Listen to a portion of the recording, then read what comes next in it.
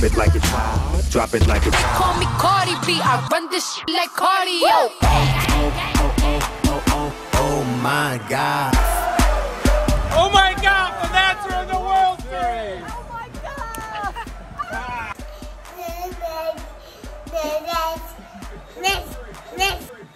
Mommy. I have to pack. I have to go to Texas. Let's start with Angie and her 20 gallon hat right outside of Minute Maid Park. What?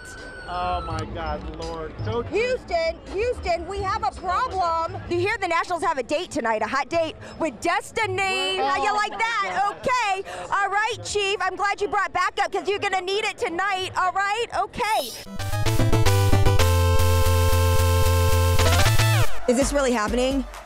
This thing work? Can I tell you how good it feels to be back behind this thing? I missed you so much. This microphone, welcoming you back to a show, a new show, my show, broadcasting out of this gorgeous studio in Washington, D.C. Thank you to everyone who has asked, What have you been up to over the last few months? Here you go, your first glimpse into one of my passion projects. This, my friends, is a vision that I have dreamed about for a very long time, for years. A show that is high energy, informative, and really just does one thing in the end makes you feel good. We're going one on one with Alex Smith. It is the Redskins quarterback's Big first time. interview. I know the first time he is speaking out, he's talking since suffering uh, that horrible, horrible, devastating injury, the leg injury, nearly seven months ago. Now, we ran into him in the mall. okay? Do you get massages a lot? No, no, I don't. What kind of pressure do you like? Firm. Any Me? sensitive spots? Me? Yeah. No. You? Uh, well, the comfort. Are these dodgeballs? That's for you. Are you dodging? We're both dodging. Oh, you're going down. I think you might need this. Stretch, Alex. Let's do this. Look at her. Oh my Where'd god. you get these? Are these regulation? Oh, that's low. That's cheap shot. Handmaid's Tale, One of the hottest out right now. season three Yeah. is underway. We got uh, this dystopian series going on that has gripped the nation. And they were in Washington, D.C. in February. I mean, if. It you look at these photos, which I still don't know if I'm allowed to share because we had to sign all these non-disclosures. If they take my $88 Sorry, back, I'm going to be mad. um, but in order to qualify for this role, Mm-hmm. you had to uh, say that you could stand up and kneel multiple times for multiple hours. And they actually gave us knee pads. You can see us kneeling, but we did that maybe a hundred times. Wow. In different ways. Good to know she still got it, y'all. She yeah, ain't too yeah, I old yet. Oh, I, oh, I'm popping buttons. I want to know on a personal basis, growing up transgender, mm-hmm. has becoming Beyonce in a sense helped you when it comes to confidence and you really staying true to who you are along this journey? it really helped me because DC embraced me in a way that I never expected. There are people who loved me before I knew how to love myself. You know, I grew up in the 80s and 90s. You know, there was nobody that I could look up to. There wasn't a Janet Mock, a Isis King, or a Laverne Cox. There was no Riley Knoxx to look up to. What's your favorite song? My favorite song for the lyrics is All Night Mm, from the okay. Lemonade album. Yes, yes, My favorite yes. song to perform was the first song I ever performed, which is Crazy in Love. I look and stare so deep in your eyes.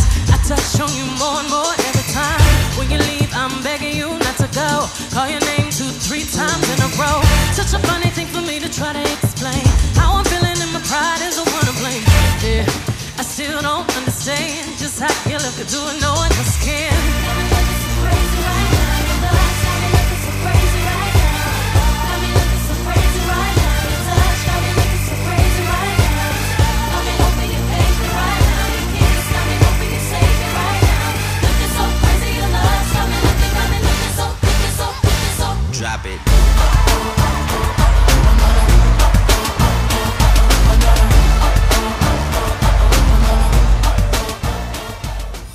Now it's time for Awakening.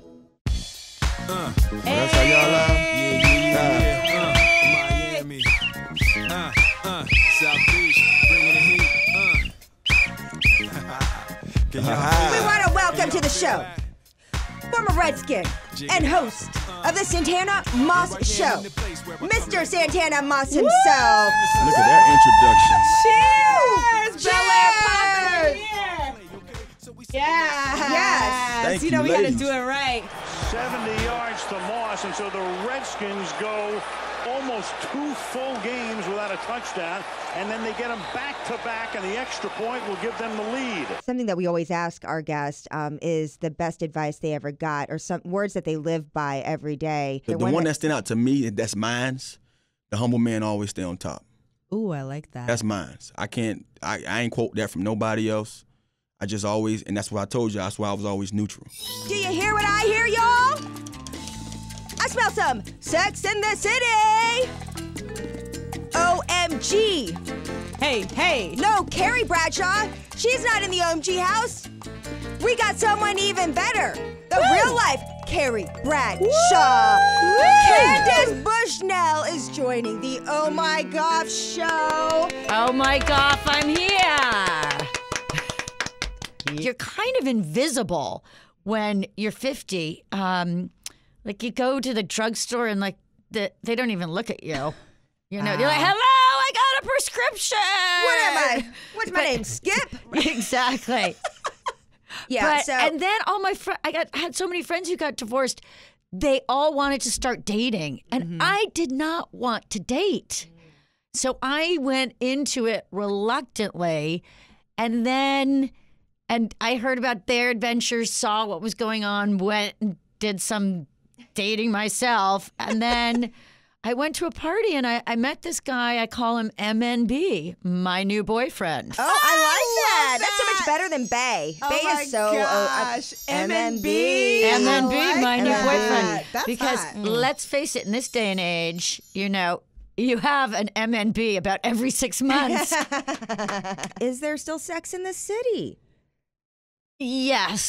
I mean, the answer is in a way yes, but less. Welcome to Korean Table Talk. Welcome to our mukbang, and this is a South Korean trend that's made its way to the U.S. There's mukja and bangsang, right? So they put the words together to make Mommy, muk- this is called bang. mukbang. I know. Well, sorry. Like the eating room. Yeah, eating room, eating broadcast. Bob, do you see us all in the video? Uh, yeah. You like this one? Don't Oh, put it oh in no, your no, mouth. no, no! Don't put that. Don't put it in your mouth. It's just it tastes softer now. I know Don't it- put it in your mouth. Oh mouth. my goodness, She put it in your mouth. Red. Look at the mouth. animal. Look at the face. Don't. She told me, don't say anything. I I eat a lot of stuff. I like pig's feet, Oh, oxtail my goodness. soup, right? This falls off the bone right here. Mhm, I hope you mhm. guys are watching this live eating broadcast right now. Mm-hmm. Hmm. And do you sell the kalbi at Dirty Habit? Uh, yes, that's Mm. for the patio menu. My my husband's gonna be all over this. This short rib, I mean, melts into your mouth. So good. It's so good. I mean, all you need to order is like just a whole plate of this, and that's gonna be enough. I mean, just look at this. Okay, look at this. Mm. For those who usually listen, literally, please go to Oh My Goff on YouTube right now so you can see all this goodness for sure. She was a little girl who looked up there and won hearts everywhere. And now Parker Curry and her mom have penned a children's book that really highlights this extraordinary experience they had here in the nation's capital at the National Portrait Gallery of Art. And today we are so excited to have the most adorable guest ever. Yes. Parker Curry. Welcome. You are a star, my dear. You are a star. And and not only are you a star, what else are you? And a trailblazer. yes, you are. I think that you have something to do with this, right? Yeah, because my mommy taught me.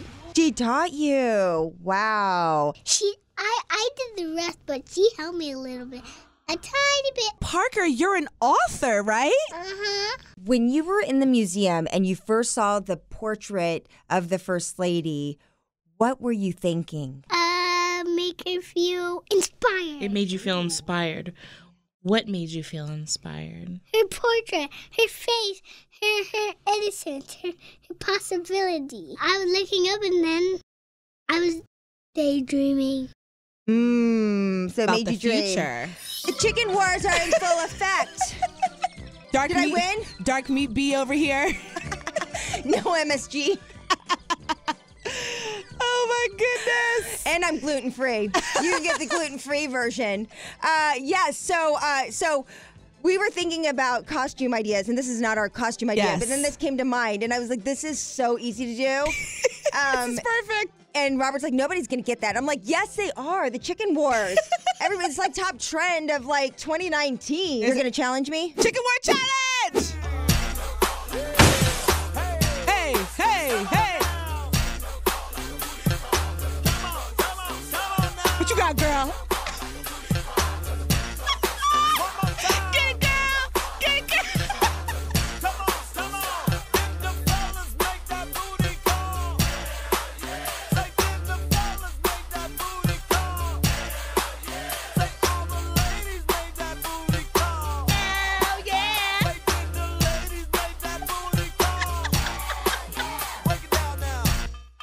Oh, oh, oh, she's she's she's Who all won? about the win. Who won, Mom?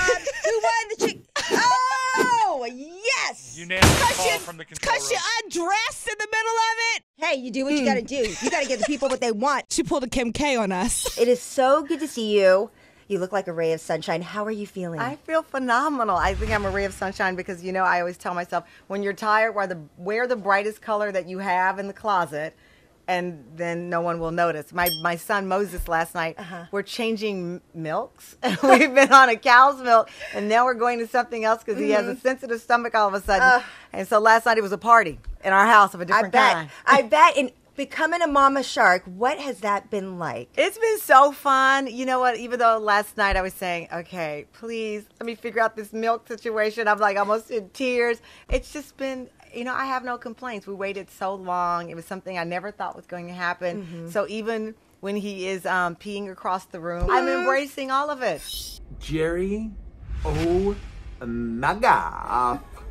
Oh my god. Wait, You- wait, let me do it like a Kardashian. Oh my god. Oh, that's a vocal fry. You got a little vocal fry up in there. I like it.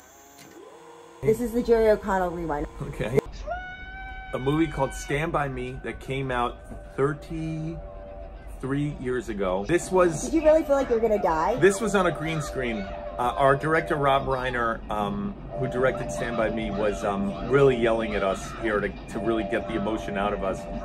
This is on a green screen. Those are stunt doubles when you see the wide shot. And, man, it was such such fun memories being in this movie, and it's such a classic, you know. When you look back at this, is this one of the favorite movies that you shot? I mean, That it's you've definitely one of the it's definitely one of the best things I've worked on, next to the Jerry O Show and the Oh My Goff podcast. Look who made it to the OMG studios this morning. Two of the biggest Backstreet Boy fans ever. When I say I want it that way. Oh my God. We're back again. Our show is a family show, and I just love what you're doing, trying to play up to that audience. And really, you identified a problem. There was not music for your own kids that out there that you felt was really good enough. Actually, when my son was uh, five years old, uh, I really had a hard time connecting with him uh, on like on a father-son bonding experience with the music that was out there. And I didn't understand it. Like I've said to lots of people, I always felt like there's so many great movies that were out there made, like the Toy Stories, the Wreck-It Ralphs, the Mhm. Minions. Um, but just music-wise, I just felt like I couldn't relate to anything that made me entertained as well. And then when I looked at our audience and I saw, you know, a lot of the younger teens that are growing up with us now coming to our concerts with their kids, and I said, so that's this is what it should be. We should be, have some more music besides Backstreet Boys that parents and kids can bond together with. This is Yentas in Yaris's Getting Yogurt. Here we are. this fine luxury vehicle. Oh, Okay. yes, yes. I mean, uh, you're probably used to riding like this. In the Yaris, you can spill the tea. You spill The it Yaris because, you know- you spill the tea. So you would just want to contour like right here. Okay. So you would go darker. Okay. No, it would just bring out your cheeks because you have do have nice cheeks. Oh, I do? Yeah, you do. Oh, thank you. Well, So- you know what I use for them. Honey, Yeah, let me they know what they're doing. thing. Let me show you. Oh, let's Oh, wait, oh, oh, wait, hold on. Christ, oh, Lord. You never use one of these? What? Okay. But the smile up ball is uh-huh. you do it at night and it's supposed to slim your face and reduce the puffiness. And you Okay. sit there and you go, I shouldn't be doing while I'm driving, but and you just sit there and you. I get H Mart, like the Oh, Korean, yeah. Oh, like yeah, the low yeah, Korean yeah. H Mart, Yes. two ninety nine. Yeah. Girl, I went to H Mart. I didn't know what the hell was going on. I said, "Kid, it was. Where's the English writing?" Yeah, you kind of have to know what you, you Okay, want. I'm Like- gonna go in there and ask for the balls. Yeah. It, I want the balls for the face. I want the Asian balls. Now I've had on my face before, but not like that. oh my god. Will you hold on to the steering wheel for the love of With that, it's time to continue the party. Woohoo! Take it away, Benji Parton!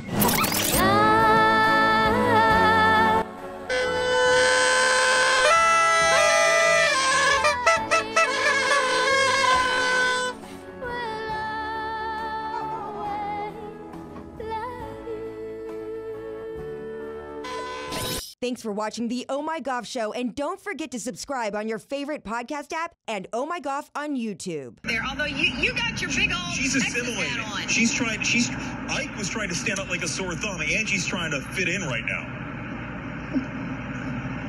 Howdy.